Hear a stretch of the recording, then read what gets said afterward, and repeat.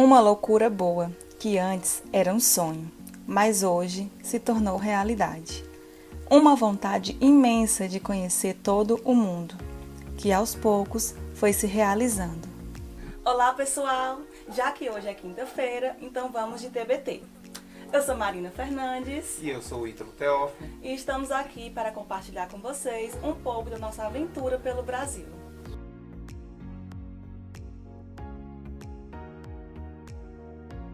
A gente vai trazer para vocês dicas e detalhes, tudo mais da nossa viagem, além de curiosidade de alguns locais que a gente passou por esse Brasil. Além dos perrengues também que passamos no nosso dia a dia, como naquele dia que entrou água na barraca. Aquele dia foi foda, né? É, nós começamos primeiro pelo Nordeste, nosso lindo Nordeste, né?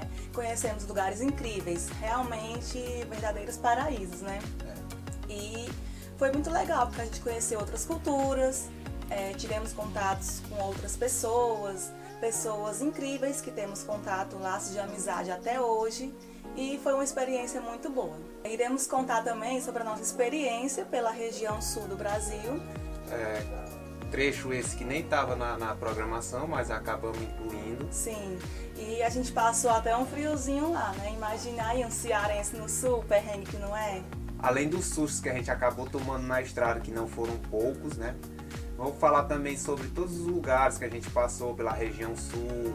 É, cogitamos até a possibilidade de morar pela região sul. No Rio Grande do Sul, tomamos até um bom chimarrão acompanhado de um belíssimo churrasco gaúcho. Bagulho, não tem como esquecer do churrasco. Não mesmo. Para nós, essa foi a viagem mais louca e mais legal das nossas vidas. Até agora, né? Sim. Porque ainda vamos aprontar muito nessas estradas. Então, pessoal, fica certo assim. Toda quinta-feira vamos marcar um TBT para a gente contar um pouquinho dessa nossa viagem de carro que durou cerca de dois meses pela estrada. É, a viagem ela se passou de Fortaleza a Chuí, né? Foi uma viagem fantástica. Claro que tiveram altos e baixos, mas no final sempre dava certo. Então se prepara aí que foram mais ou menos uns 13 mil quilômetros de história.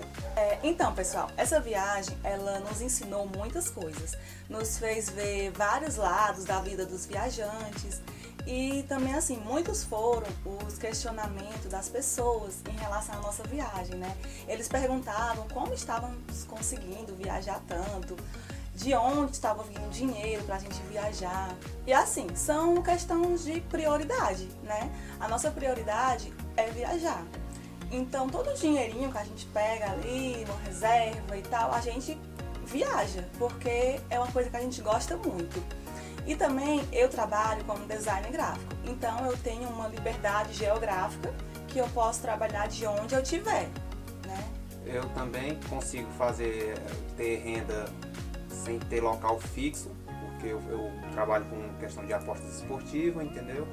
Então, tendo o computador em mãos, já dá certo em qualquer lugar. Então, pessoal, é isso e aguardamos vocês nos próximos episódios.